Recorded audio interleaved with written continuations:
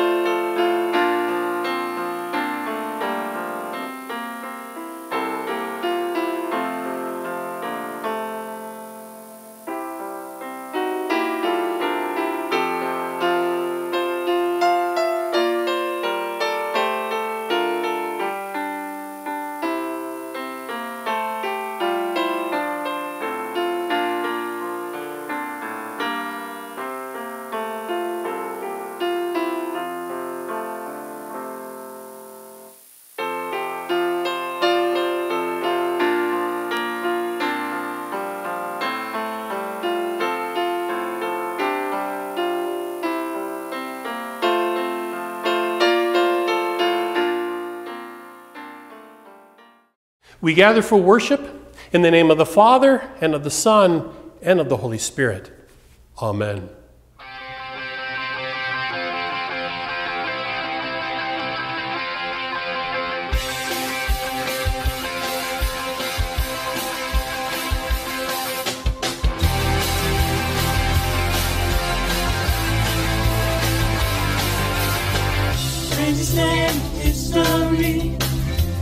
being you have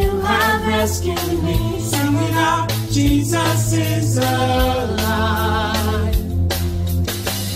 Empty cross, empty grave. Life eternal, you have won the day. Shout it out, Jesus is alive. He's alive. And oh, happy day, happy day. You washed my sin oh, happy day, happy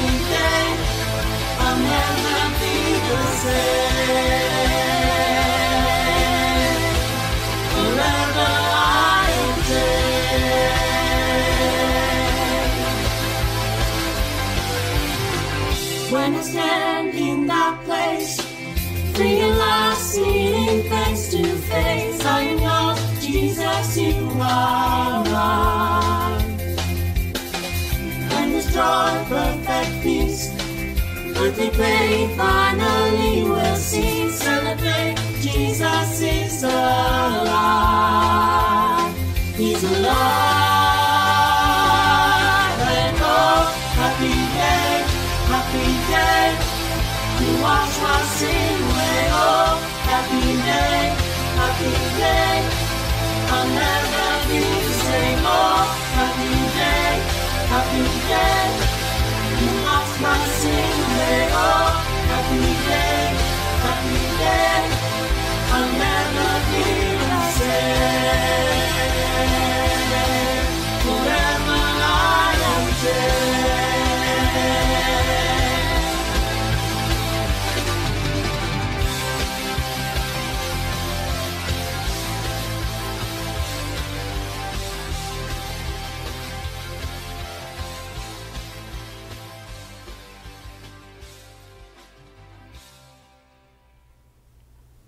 In the New Testament book of Hebrews, we're invited to boldly enter into the throne room of God and to let God know of our greatest needs.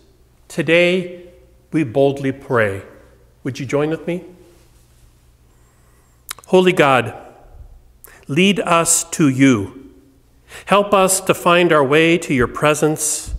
Guide us that we might discover your peace and love, even when fear seems so real. Allow us the calmness of these moments of worship to remember that we are yours and nothing can separate us from your love, not even a virus.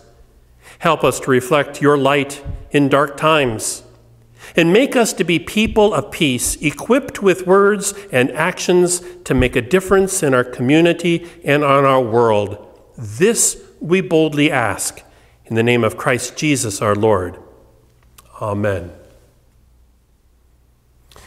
The word kairos is a Greek word. It's a way to define time. The other way to define time in the Greek language is the word chronos. And from chronos, we have chronological order, the way in which we tell sequential time. But kairos is different. Kairos marks holy time, a time when God shows up and does God's work in our world, in our lives. And each week, we love to lift up Kairos stories of folks within our church who have experienced God. I want to thank those who have so shared those moments and send out an invitation to others who wish to be a part of our Kairos stories. Simply email me and let me know of your interest. And now, our first Kairos moment of the day.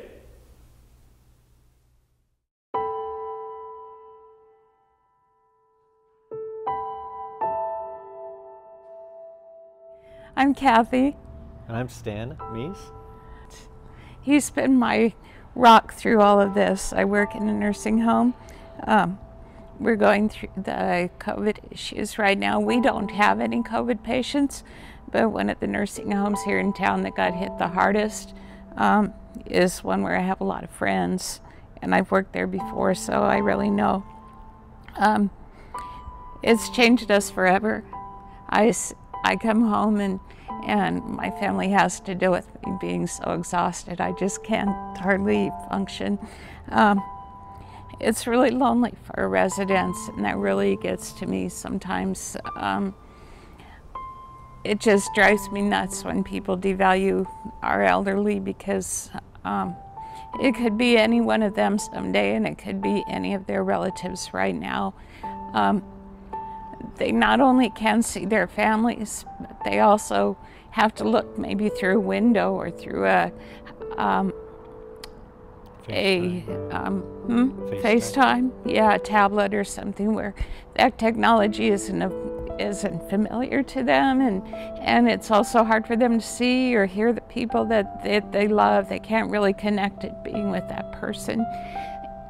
And not only that, but they see us in our masks every day, and it's it gets to all of us. It gets to them. It gets to us. It's um, lonely.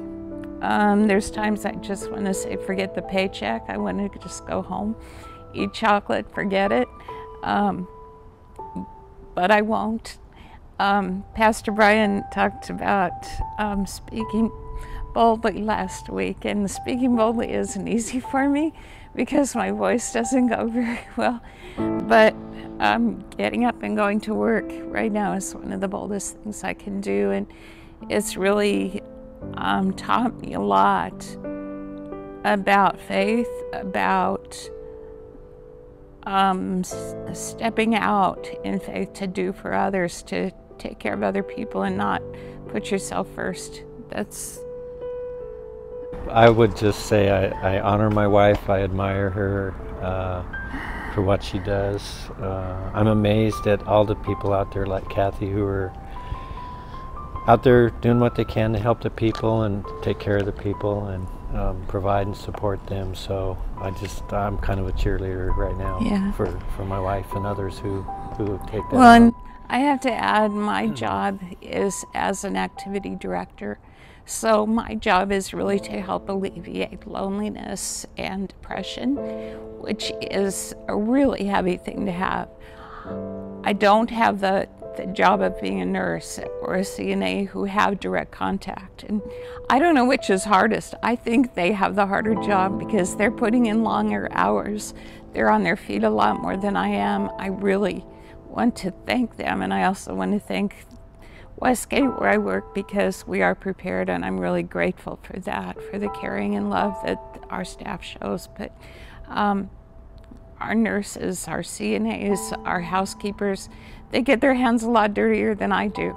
Um, but just the emotional part for me is really, really a hard one because that's where it really counts for these residents. So I would like to say part of our Kairos moments I really want this on here because I really am thankful to Pastor Brian and Havila and her family and all the people behind the scenes that, like yourself who put this together and um, it's it's a great encouragement to in our faith and our walk with God and so just can't say thank you enough for all that you guys do.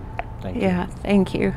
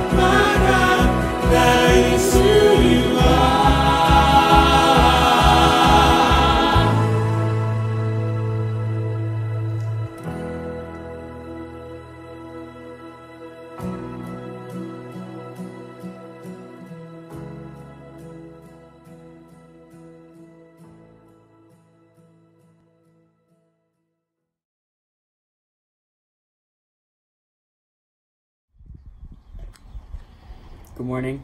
This morning's reading comes from the book of Acts, chapter 3, 1 through 10. One day, Peter and John were going up to the temple at the hour of prayer, at 3 o'clock in the afternoon, and the man lame from birth was being carried in. People would lay him daily at the gate of the temple, called the Beautiful Gate, so that he could ask for alms from those entering the temple. When he saw Peter and John about to go into the temple, he asked them for alms. Peter looked intently at him, as did John, and then and said, Look at us. And he fixed his attention on them, expecting to receive something from them. But Peter said, I have no silver or gold, but what I have I give you. In the name of Jesus Christ of Nazareth, stand up and walk. And he took him by the right hand, raised him up, and immediately his feet and ankles were made strong. Jumping up, he stood and began to walk. And he entered the temple with them, walking and leaping and praising God. All the people saw him walking and praising God, and they recognized him as the one who used to sit and ask for alms at the beautiful gate of the temple. And they were filled with wonder and amazement at what had happened to him. Here ends the reading.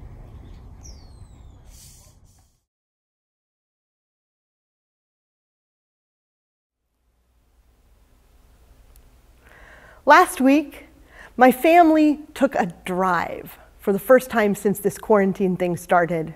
We just wanted to get out, not to be enclosed within walls for a time.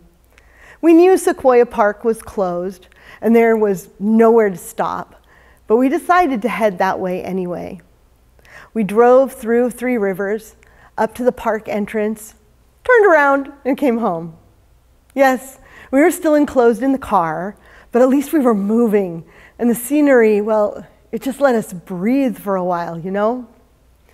There's something about free and open space. In this valley, we're spoiled by it, aren't we? Acres of fields or orchards, areas that if you have a horse or a mountain bike or even a good pair of hiking boots that you feel you can just go on forever.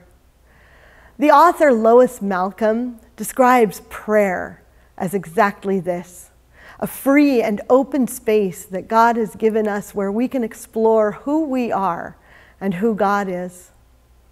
God knows that we can't be spiritually cooped up either. We need freedom. And in, in prayer, God gives us space to move and breathe, fields and foothills. That means something special at a time when we don't have the norm of physical freedom. And the invitation to explore who we are can be more poignant too, and sometimes more challenging. This story in Acts that was read for us a few moments ago, well, I have to confess, it really challenges me. Studying it and digging into it has revealed some things about my own prayer life that, well, disappoint me in my own lack of boldness. It's complicated. The Apostle Paul's advice to pray without ceasing, well, that's easy for me. And I often feel that I have a constant conversation with God. But at times when it's really important, I find that I don't really pray for the big stuff. Even when Lim was in emergency gallbladder surgery earlier this year and it was taking hours longer than it should have, I found that I couldn't even reach out and ask others to pray. I was enveloped in silence. My kids prayed. I didn't.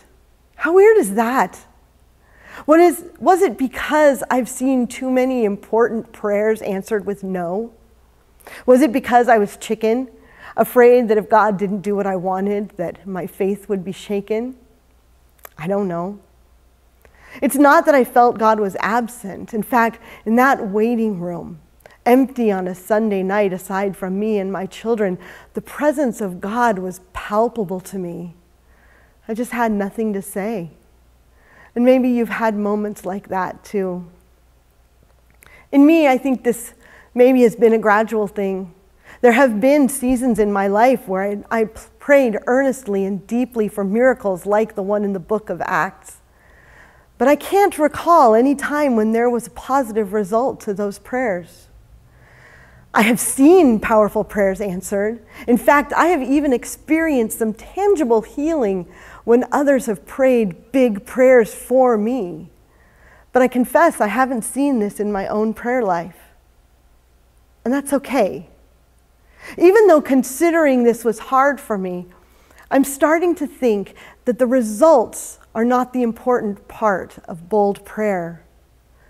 What's important in that free and open space of prayer is what we discover about ourselves and how we are transformed by the act of prayer.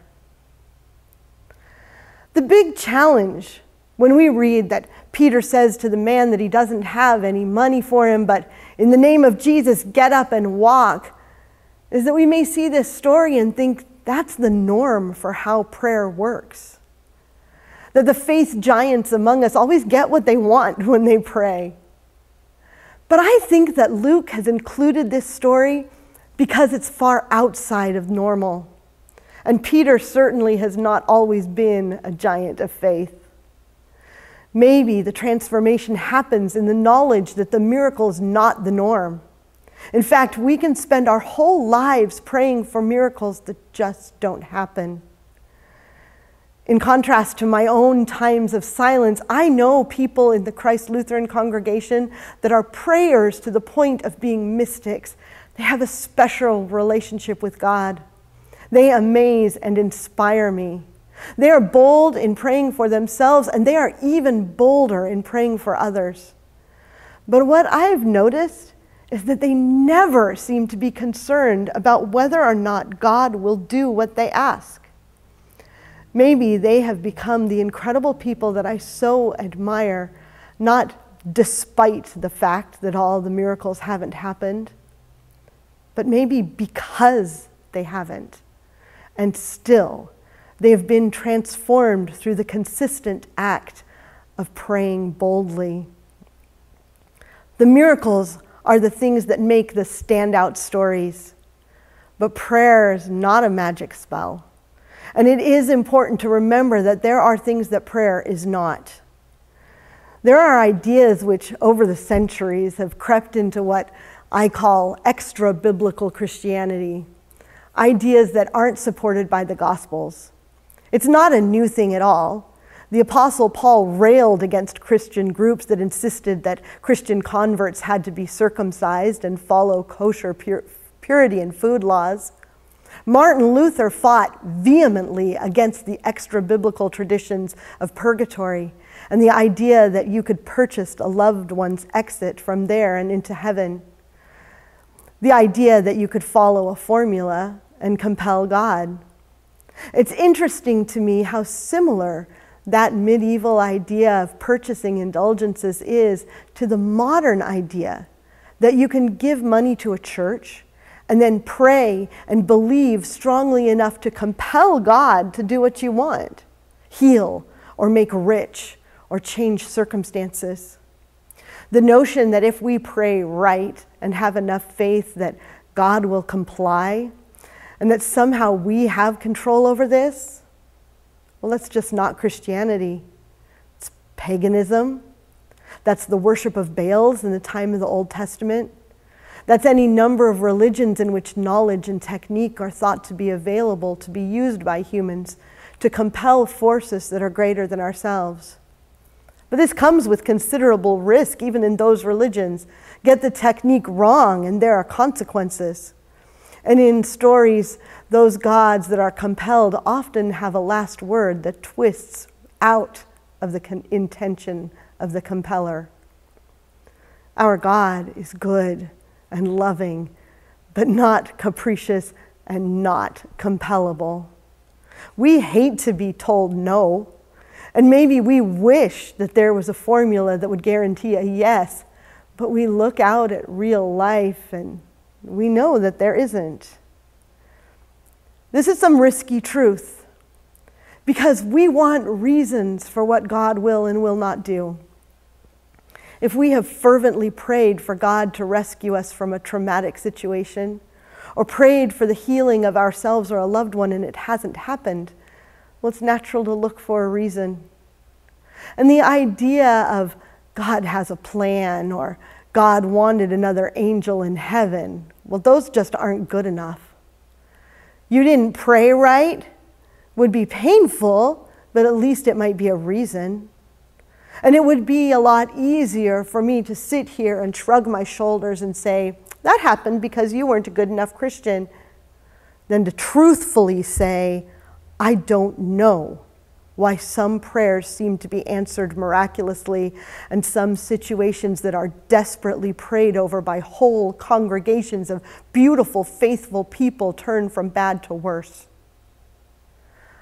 I don't know why God doesn't rescue the abused kid who offers up terrified prayers and hopes someone is listening. I don't know why one cancer disappears and why another is inoperable. And I confess that a lot of my own prayer life includes very heartfelt, angry expletives and, What are you doing? Now more than ever. It is a given that the creator of the universe is participating in a larger arc of history than what we're even able to think about. But Jesus tells us that God is also interested in our lives, our needs, and our relationship through prayer. The God of the unthinkably vast cosmos also turns attention to the beating of our hearts and the respiration of our cells. Minutia matter to God. And our prayers for each end of this spectrum matter as well. St. Francis of Assisi prayed for birds and even for worms as he lovingly moved them out of pathways. We pray for the restoration of all creation whenever we pray, God, your kingdom come. The incarnation, Jesus becoming a human and walking around on earth, means that this Jesus is the best and most accurate representation of God we have. If we want to know what God is like, we look to Jesus. And part of the huge mystery of a God who is relationship is that Jesus was God and Jesus talked to God. I want to shelve the possibility that we can't really wrap our brains around that for a moment and instead look at both how he talked to God and how he responded. And this is because I think that the most important clues we have to bold prayer come from Jesus. When Jesus knows that he is going to be turned over to the authorities and experience the most pain, humiliation, and dehumanization possible, he prays. In Luke's gospel, he withdrew from the disciples about a stone's throw, knelt down, and he prayed, Father, if you are willing, remove this cup from me, yet not my will, but yours be done. Then an angel from heaven, Luke writes, appeared to him and gave him strength. But he doesn't get up and decide that everything's fine because of this strength. No. Instead, in his anguish, he prayed more earnestly, and his sweat became like great drops of blood falling down on the ground. When he got up from prayer, he came to the disciples and found them sleeping because of grief. Well, that sounds familiar, doesn't it? He wakes them up and again tells them to pray. He knows what's going to happen. He knows it's going to be inexpressibly awful. He prays to be released from it, knowing that that cannot and will not be. This is the path of love that he has chosen, and he will see it through. Yet he prays with his heart so he can be with God in his anguish. Through this prayer, the human Jesus discovered that he could take the next steps. Unanswered prayer meant deep exploration of who he was. The miracles, they do happen, not often. But the real good news is that it is the act of bold prayer that's most important, not the results. Praying for God to do something big and abnormal changes us, can make us people of bolder faith, whether the miracle happens or not. In prayer, we discover more and more who we are and how God is working in us. So, my prayer for you this week and I humbly ask that you will pray it for me as well, is that our prayers will become bolder. that we can ask for miracles without worrying about the result of our prayers, and that these bold prayers will help us on our journey into bolder faith. Amen.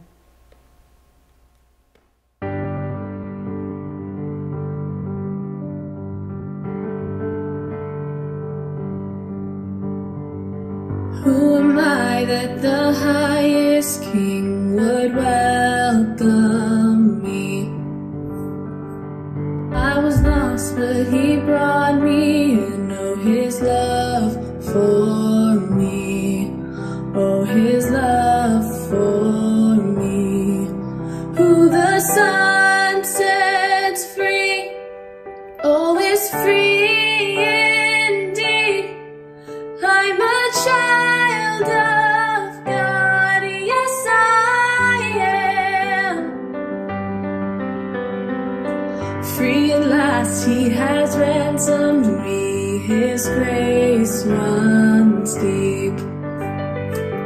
While I was a slave to sin, Jesus died for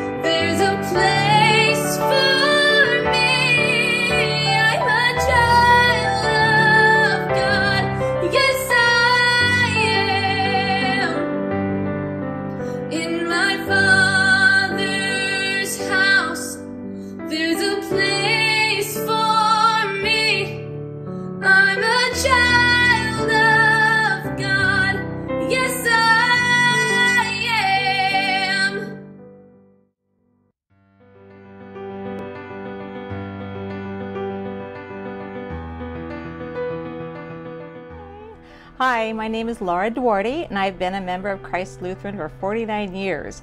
Many of you already know that I'm a teacher, and I teach fourth grade at Willow Glen here in Visalia. There's so many things I want to tell you about my role as a school teacher, but the most important thing about it is the Lord's purpose for me as an educator. You see, God led me to this profession after years of preparation as the oldest of five children, mother of three, parent helper in my kids' classrooms, and various teaching roles at church. His further plan for me resulted in the completion of my degree, credential, and my first classroom teaching special ed kindergarten. He gave me a mission field in a public school system. Over the years, my classroom has become a sanctuary for me. It is a place where I feel the presence of God, especially when the children are there. It is my refuge, my safe place. It has been that way through the toughest seasons of my life. Even when the virus started, I felt a strange sense of safety inside my decades old portable. My room is normal, friendly, and filled with life when my students are there. I would like to believe that my students feel the same way. Teaching is a challenging calling, especially with 30 plus children every year. The challenges come when you mix up lots of different children's behaviors, learning styles, and academic levels. There isn't anything easy about it, but it's more than rewarding and constantly I constantly see the Holy Spirit at work. He gives me ideas on the spot, and I love to tell my coworkers about my Holy Spirit lessons. School closure has been difficult for everyone involved, that's for sure. Instead of being with my kids every day at school, instruction and communication with them has been reduced to weekly phone calls, district work packets, and instructional help over the phone. We have not been able to have any face to face video contact with our students due to technology issues in a district with over 29,000 students. I'm thankful I get to talk to my students and their parents, but it's not the same, obviously. I feel so badly because they, like all of us, want to get back to normal. They ask me the what, where, when, why, and how questions, and I don't have the answers. It breaks my heart to tell them I don't know, and nobody knows. I tell them we just have to wait and see. What I want to tell them is that God knows exactly how and when all of this is going to play out, and that we get to trust Him and His faithfulness in all of it. But of course, I can't tell them that because of the nature of public schools, but I can pray for them and their families. God is here with us in the midst of all of it. He's sovereign, faithful, omniscient, and so much more. I am waiting with hope to see how his plans unfold, trusting him and trying really hard not to lean on my own understanding. When we acknowledge him in all that we do, he will make our path straight. He always does. Praise the Lord.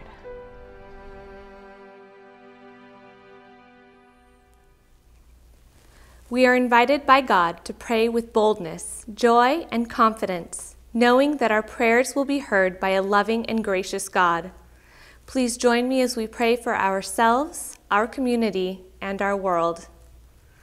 God in heaven, we thank you for communities of faith that strive to extend welcome by whatever means necessary, so that the stories of your Son Jesus can continue to echo beyond the walls of church sanctuaries. We are grateful for the technological tools that we are able to utilize in order to keep us connected to each other during this time. We pray for the individuals who are dedicated to creating a new normal as we continue to venture forth into a world unlike any we've known, bringing along as much familiarity as they are able. God of healing, we lift up those who are sick, the poor in spirit, and those who are experiencing pain of mind, body, and soul. We ask for wholeness, comfort, and peace for all those who await your healing touch. Lord, we recognize that we may have people in our lives who do not know your unconditional grace and love. We pray that all will find peace in your redemptive embrace. As we continue to hear sermons about those with bold faith who have come before us, let us live our lives boldly. This is certainly a time for bold faith and bold prayer. We boldly pray for the safety of doctors, nurses, and frontline workers who are actively fighting COVID 19. We boldly pray for the scientists who are seeking treatments and vaccines. We boldly pray for the families who have lost loved ones. We boldly pray for an end to this pandemic. And most of all, we boldly pray that through it all, we can remember that our God is a God of love and so it is with boldness that we ask all of this in the name of Jesus Christ our Lord. Amen.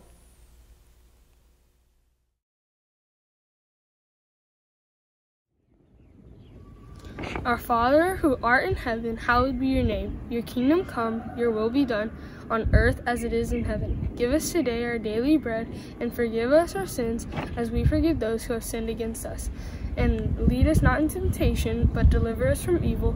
For thine is the kingdom, and the power, and the glory, forever and ever. Amen. I know it's not easy, but here at Christ Lutheran Church, we continue to stay connected and do our very best to connect one another. And so I want to remind you of a couple of places and ways for you to be a part of conversations and togetherness in the ministry that we share. All things new. That describes our devotional focus and our small group gathering focus for right now. Now, I hope that you're, you're staying current with the daily devotional guide that was mailed to our memberships.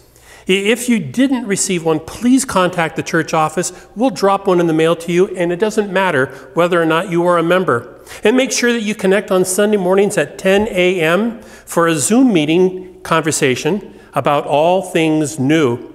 The Zoom connection is found in the weekly e blast, or again, you can call the church office to get that contact information. And here's the reality in these days of COVID 19, all things are new. How do we find the work of God in these challenging times? Make sure you stay engaged to discover answers to that question. And then I'd love for you to join me for a weekly Bible study entitled Theology on Tap. Every Thursday at 5:30, we get together on Zoom and we read and study the Gospel of Mark. It doesn't matter your background, how much you know of the Bible, whether or not this is a first time for you. We'd love for you to join us. You need to check the weekly e-blast for the Zoom connection information or again, contact the church office to get that information. And then finally, we want to stay connected to you in every means possible. And one wonderful way is through your phone, your smartphone. So, what we're asking you to do is to be a part of our contact information with our brand new 41411 connection. Now, here's how you do it you take your smartphone, right? You find the section that allows you to provide messages. So, your new message section. And then in the block that says 2, you simply add 41411. Looks like that. And then in the subject section, you simply type in CLCVISA LIA, CLC Visalia. It looks like that. You hit the green button and you're connected. That's all you have to do. We'd love for you to stay connected in this important way because that way we can send you information about upcoming events or important information and news about the membership and the life of your church. Many things are taking place. invite you to be a part of the ministry that we share together.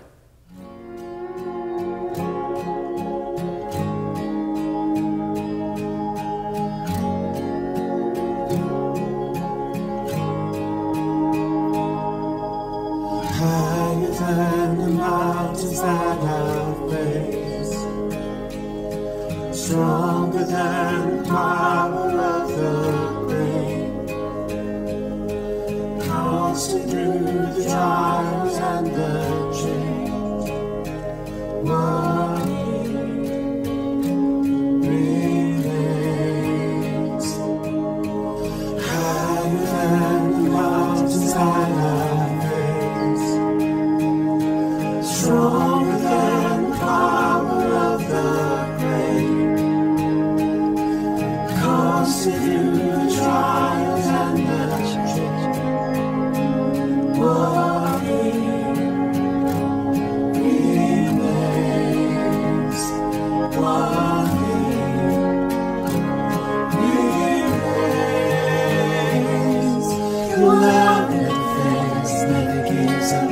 Your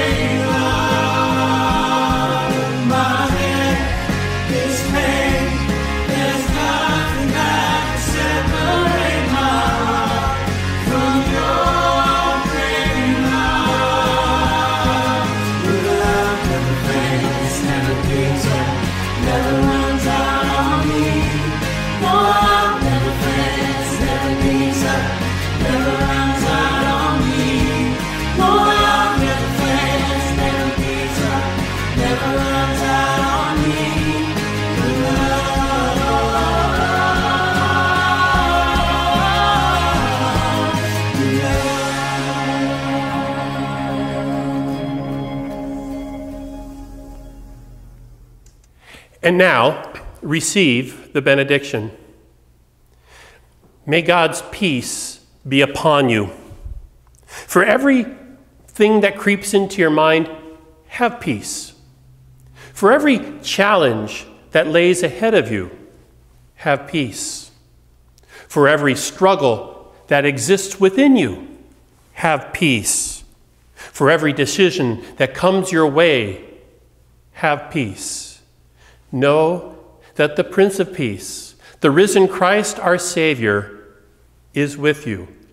In the name of the Father, and of the Son, and of the Holy Spirit. Amen.